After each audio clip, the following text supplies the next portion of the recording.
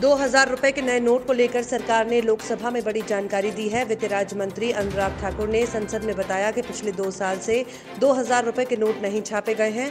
वित्त राज्य मंत्री ने एक सवाल के जवाब में सोमवार को बताया कि अप्रैल 2019 से दो हज़ार रुपए के करेंसी नोटों की छपाई नहीं हुई।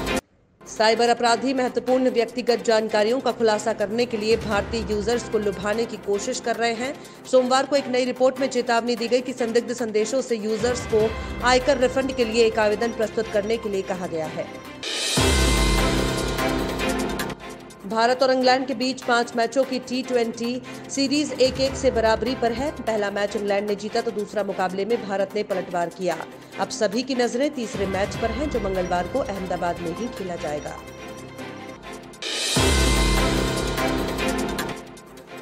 प्याज की मांग और आपूर्ति में लगातार बढ़ते अंतर की वजह से खुदरा बाज़ार की कीमतों में उतार चढ़ाव पर काबू पाने के लिए सरकार ने प्याज का बफर स्टॉक बढ़ाकर दोगुना करने का फैसला किया है। केंद्रीय उपभोक्ता मामले मंत्रालय की सचिव लीना नंदन ने बताया कि महँगाई जैसे विषय को लेकर सरकार बहुत संवेदनशील है। महाराष्ट्र में कोरोना के मामलों में लगातार वृद्धि के बाद प्रदेश सरकार ने वहाँ से आने वाले लोगों को सात दिन क्वारंटाइन करने के निर्देश जारी किए हैं। हवाई जहाज़ से यहाँ आने वाले लोगों को 48 घंटे पहले कोविड 19 की जाँच करवाना ज़रूरी है।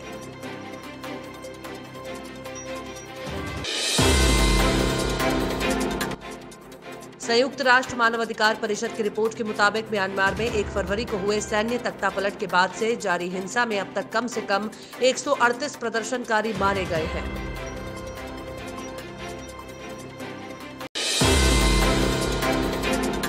भारत और इंग्लैंड के बीच टी सीरीज़ के आखिरी तीन मैचों में दर्शकों की एंट्री नहीं होगी।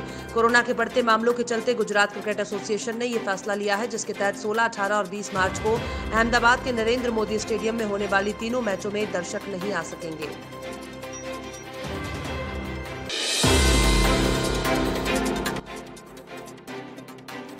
देश में पेट्रोल और डीजल की कीमतें भले ही 27 फरवरी से ना बदली हों, लेकिन ये अभी भी अपने सर्वकालिक उच्च स्तर पर है। हालाँकि चुनावी माहौल में एक तरफ़ ये सरकार के लिए राहत की बात है। सोमवार को लोकसभा में सरकार ने माना कि पेट्रोल डीजल से उसकी अच्छी खासी कमाई हो रही है।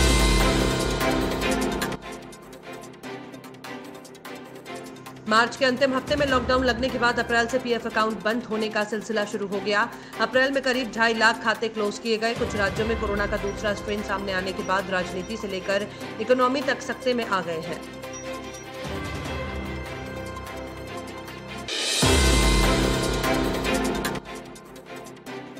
पिछले दो सालों में दो हज़ार रुपए के एक भी नोट की छपाई नहीं हुई है, जबकि इसकी संख्या में लगातार कमी आई है। दो हज़ार रुपए के नोटों की आखिरी छपाई अप्रैल 2019 में हुई थी। वित्त राज्य मंत्री अनुराग ठाकुर ने सोमवार को लोकसभा में इसकी जानकारी दी। केंद्र ने ऑटो क्षेत्र के लिए उत्पादन और खपत आधारित विशेष प्रोत्साहन योजना पर काम तेज कर दिया है। इसे इंसेंटिव स्कीम कहा जाएगा। योजना के तहत तीन चार छोटी योजनाएँ शामिल होंगी जो अलग अलग क्षेत्रों में घरेलू उत्पादों के खरीद के लिए ऑटो कंपनियों को प्रोत्साहित करेंगी। दो बैंकों के निजीकरण के विरोध में कर्मचारियों की हड़ताल के पहले दिन सोमवार को देश भर में मिला जुला असर दिखा। भारतीय बैंक कर्मचारी संगठन के महासचिव सीएच वेंकट चालम ने बताया कि हड़ताल से देश भर में करीब दो करोड़ चेक का क्लियरेंस नहीं हो सका। सप्ताह के दूसरे कारोबारी दिन शेयर बाज़ार बढ़त पर खुला। बॉम्बे स्टॉक एक्सचेंज का प्रमुख सूचकांक सेंसेक्स दो सौ तेरह दशमलव तीन चार अंक की बढ़त के साथ पचास हज़ार छह सौ आठ दशमलव चार दो के स्तर पर खुला। वहीं नेशनल स्टॉक एक्सचेंज का निफ्टी सड़सठ दशमलव छह शून्य अंक की तेज़ी के साथ चौदह हज़ार नौ सौ छियानवे दशमलव एक शून्य के स्तर पर खुला।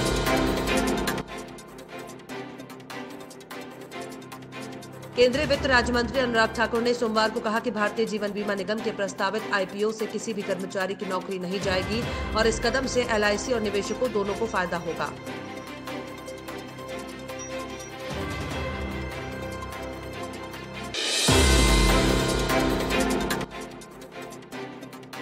देश और नेपाल के कई कॉलेजों में मेडिकल में पीजी में एडमिशन के नाम पर ठगी करने वाले गिरोह का रीवा पुलिस ने भांडाफोड़ किया है। गिरोह ने दिल्ली के बाली नगर में बकायदा ऑफ़िस खोल रखा था। आरोपी एमबीबीएस कर चुके छात्रों को पीजी में एडमिशन का झांसा देते थे। जम्मू कश्मीर के शोपिया के रावरपोरा इलाके में तीन दिन से चल रहे एनकाउंटर में सुरक्षा बलों ने सोमवार को जैश ए मोहम्मद के कमांडर सज्जाद अफगानी को ढेर कर दिया। सुरक्षा बलों ने 13 मार्च को शुरू हुए ऑपरेशन के दूसरे दिन, यानी रविवार को भी, एक आतंकी को मार गिराया था। सेना भर्ती घोटाले में सोमवार को बड़ी कार्यवाही हुई है। केंद्रीय जाँच ब्यूरो ने देश भर में करीब 30 जगह छापेमारी की है। साथ ही मामले से जुड़े 17 आर्मी ऑफिसर्स के खिलाफ एफआईआर भी दर्ज की है। इनमें लेफ्टिनेंट कर्नल, मेजर नायब सूबेदार और सिपाही रैंक के आर्मी ऑफिसर शामिल हैं।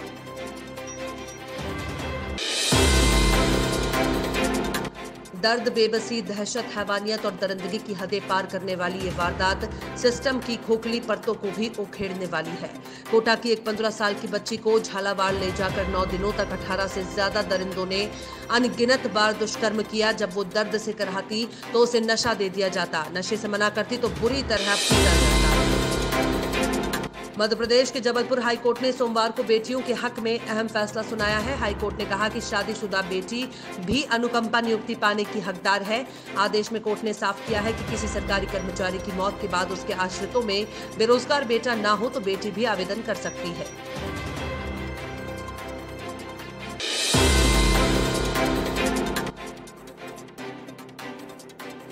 बिहार के विकेटकीपर बल्लेबाज ईशान किशन ने रविवार को इंटरनेशनल क्रिकेट में डेब्यू किया।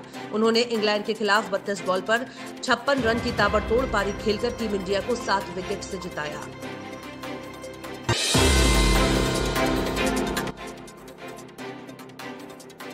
गृह मंत्री अमित शाह पश्चिम बंगाल और असम के दो दिन के दौरे पर हैं। सोमवार को उन्होंने बंगाल से अपने चुनावी अभियान की शुरुआत की।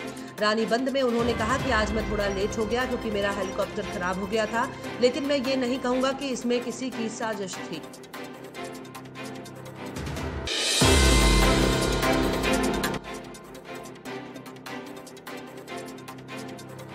दिल्ली की साकेत कोर्ट ने सोमवार को इंडियन मुजाहिदीन के आतंकी आरिस खान को मौत की सजा सुनाई है। कोर्ट ने इसे rarest of the rare case माना है। आरिस को दिल्ली में 2008 में हुए बाटला हाउस एनकाउंटर से जुड़े एक मामले में आठ मार्च को दोषी करार दिया था।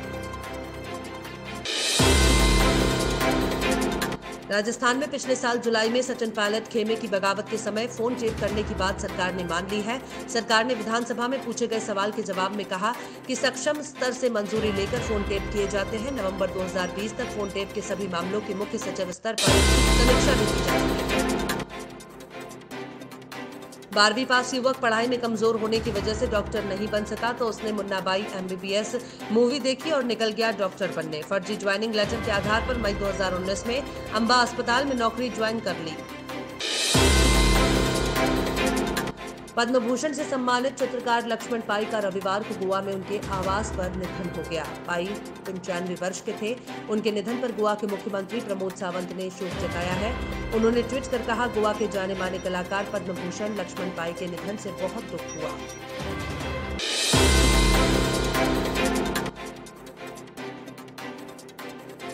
भारतीय टीम के स्टार तेज गेंदबाज जसप्रीत बुमराह ने स्पोर्ट्स एंकर संजना गणेशन के साथ शादी रचा ली है। जसप्रीत बुमराह ने खुद ट्वीट कर इसकी जानकारी सोशल मीडिया पर दी है। कोरोना वायरस के कारण प्रतिबंधों को देखते हुए बुमराह के परिवार के कुछ लोग ही इसमें शामिल हुए हैं।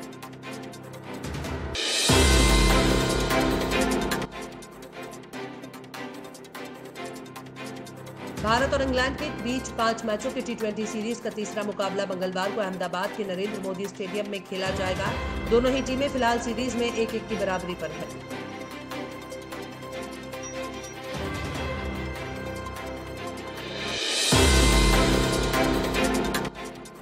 जोमेटो के डिलीवरी बॉय और बेंगलुरु की महिला कस्टमर के बीच मारपीट के मामले में नया मोड़ आया है।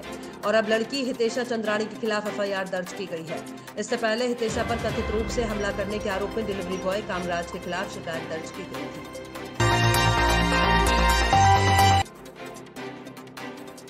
क्रिकेट जगत के सबसे बेहतरीन कप्तानों में से एक महेंद्र सिंह धोनी आजकल इंडियन प्रीमियर लीग के चौदहवें सीज़न के लिए चेन्नई में ट्रेनिंग कर रहे हैं। लेकिन इस समय धोनी अपने नए अवतारों के चलते काफ़ी चर्चा में है।